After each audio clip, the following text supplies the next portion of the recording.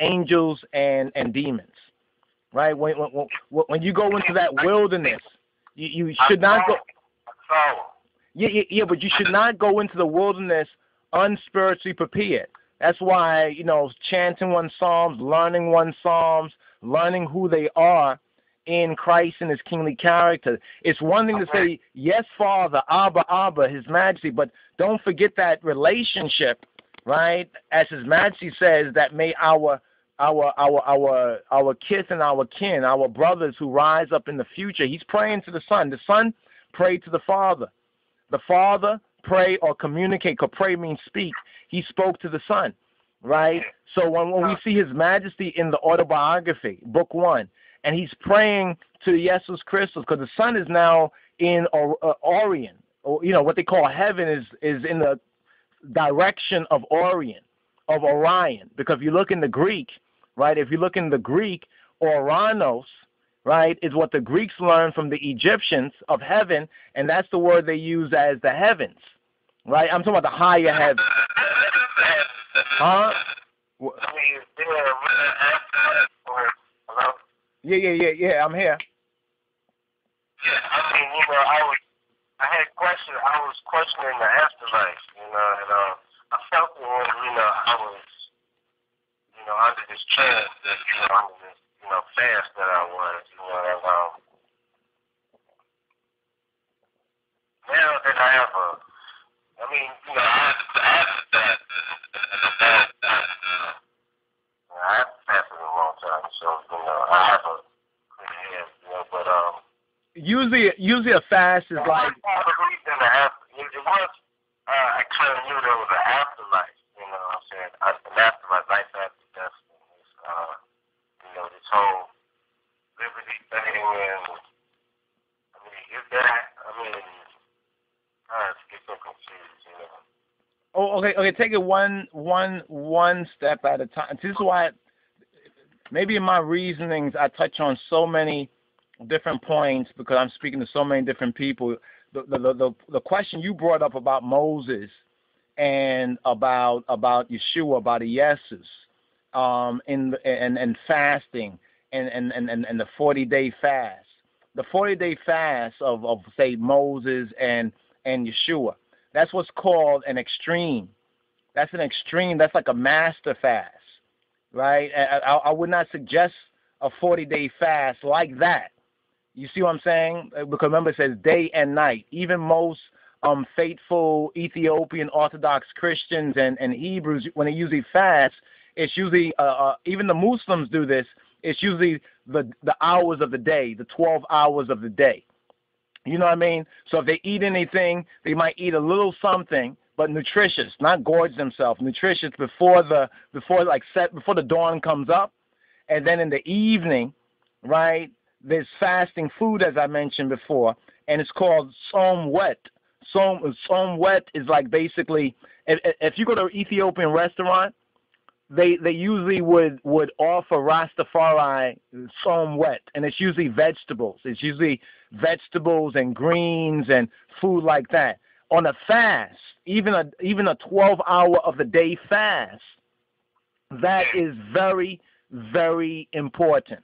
That is very, very important. If you're eating Mickey D's, McDonald's, if you're eating GMO junk food and so forth and so on, and and in addition, I would even suggest ones take certain certain of the young the longevity, the the minerals and the nutrients. See, a lot of people they pop vitamins, and some of these vitamins out there uh, have toxins in it. There's some news articles out there which will tell you that some vitamins have been recalled because they find that they're putting heavy metals and all kind of funny stuff in the vitamins. So people are taking certain type of vitamins. So we have to know what we're putting into our body. Just like if if if, if you want spirituality, you have to do your study and your research so you'll know what somebody's telling you. This is why I tell everyone when you listen to me and I'm touching on some areas of scripture, you understand? Take it take it one step at a time and look these things up for yourself. And, and begin to question yourself and about them and pray pray to pray to Jah, pray to God for wisdom. God will give anyone wisdom who truly seeks it. You, you know what I'm saying? Especially we have it in the authority of our love of the Messiah. because we recognize that the, that the Father, the Son, the Holy Spirit is one because we recognize that Haile Selassie come. But we cannot be naked spiritually. You know, you know when I talk about the Trinity, I don't know if folks are getting it when I'm talking about the Trinity, and I'm speaking about spirit, soul, and body. The soul is between our the soul is the psyche. So somebody has a psychological imbalance, for example. One level of spiritually diagnosing that is that there the soul is being is being pulled in two different directions. See, the soul is both your mind and your feelings. The mind is the upper part of your soul that connects with your God consciousness or, or, or, true spirituality, your consciousness of angels and demons and the Almighty God. You understand? That's the spirituality part. That's the, that's the spirit part of us. That and and this is where the word, when we meditate on the word and when we speak the word, and we chant the word and we you know what I mean the word is spirit because you have spirit when you speak your spirit is your breath of life but is your is is is your spiritual and the words that you speak you really have to check the words that you speak because sometimes we be saying stuff or we used to say stuff like yeah man this is killing me or I'm dying for such and such do you understand? You know what? You know what? I remember when I was locked up on the block and, you know, I was in this trance, right? I was calling all the white boys, the nigga and all, this other good shit. all that. And I was calling them, them damn Toms over there, all the cracker names and the redneck shit, you know? You know, I had switched it up. I was, I was, you know, yeah, yeah, yeah, yeah, yeah. yeah, yeah. I, I always that example, but I'm gonna get this right here. You see, you see, you see, a lot of us identify our existence with how we feel, right? With, with, with, with our feelings, right? Feelings are good servants but poor masters. See, it's the discipline, it's the spiritual discipline, and the best spiritual discipline is staying in, in the I book. And whatever you don't understand, just take a moment and say, Abba, in the name of in the name of your son, in the name of Yeshua, show me this. And, and have no doubt that he's going to show you it in due time. He might not show you it all at once because sometimes we're not mature enough to understand it all at once. Sometimes he shows you. You ever go through experience in life where you ask God something and you went about your business and then you went through a lot of different experiences and then you put it all together and you be like, oh, that, that this stream of experiences Jah was showing us point by point. Because remember when Christ even said it himself, Yeshua said it, Jesus said it. He said, I have more things to tell you, but you are not you are not able to you cannot bear it right now. In other words, there's more things that we have to learn and grow. And what happens is that some so eagerly desire spirituality. Like for example, there's an example of some some white boys who went down to the Indian the Indian reservation, and the Indians take peyote for their spiritual, you know, as a sacrament, right? And and and, it creates a psychoactive state, like marijuana is psychoactive. So it opens up the soul. You know what book you really need to probably check out is Cannabis Matrix. You really any any any any of us and most of us do with with, with marijuana need to read Cannabis Matrix. You, and and and and we'll see about getting a copy to you. Check it out, Cannabis Matrix. It's in the book section because Cannabis uh-huh. Matrix. Cannabis Matrix? Yeah, Cannabis Matrix. Because what Cannabis Matrix tells us is that when we compare this now with the Bible and true spirituality, right? That that cannabis can have four different types of effects on four different types of people. It's like when you read in Matthew chapter 13, and Christ says that that a uh, sower went forth to sow a seed, and the seed fell into the four different kinds of ground, but it only bore, bore fruit in in good ground. Now, if you know anything about farming, good ground is ground that you cultivate. Like you take out the stone, the thistles, the the rocks out of it. Exactly. So so now understanding this in our spirituality, as as true Rastafari in Christ, in the teaching of His Majesty, in Yeshua, in the Jesus, we have to take these things out of our own head and heart. You know, like sometimes I I've been used to saying certain kind of things, and then the Holy Spirit showed me, you know, you're cursing yourself when you say that. you know, like like, like people say, oh, I can, you know, or, or getting money is difficult. When you even say that, you're basically dismissing what John says in Deuteronomy 8 and 18. Remember when Christ was in the wilderness? He battled with the devil, right? He even the devil of his own consciousness, right? He but how did he overcome the devil?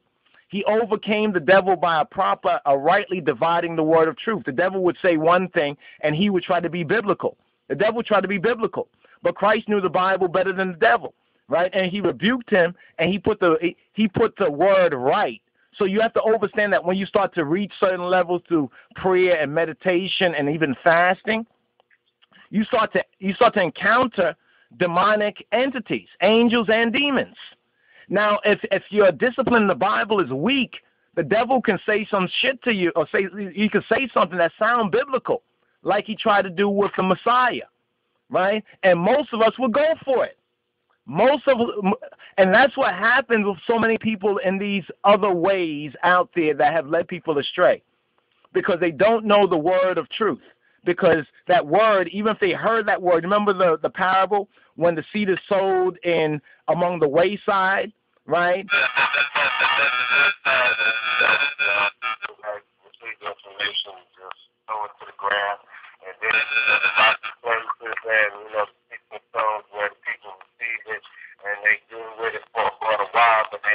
exactly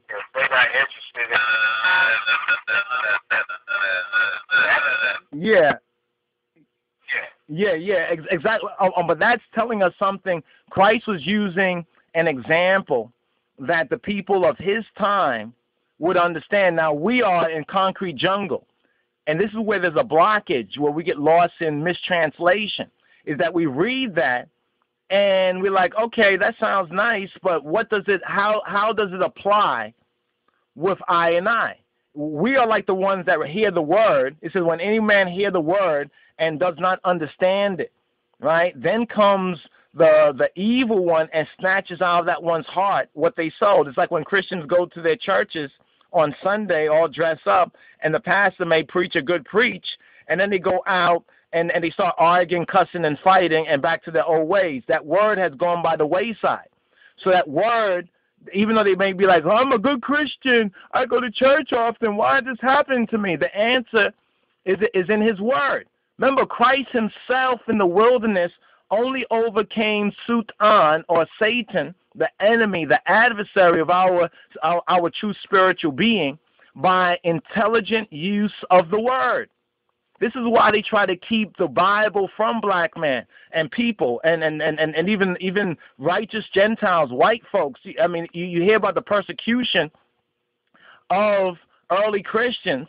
You hear about how they they didn't want early Christians, right, to have the Bible in, in, Rome and in, in Europe, and they didn't want black people, the Hebrews, to have the Bible in America.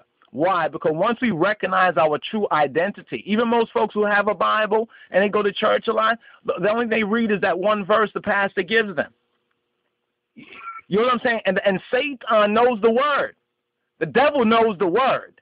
And and we see this example in in Christ's temptation in the wilderness. Christ's temptation in the wilderness, if we are in Christ, right? And we have the blood of Christ in us and we have the life of Christ in us. That means that we begin to recognize, wow, here's how Christ handled that.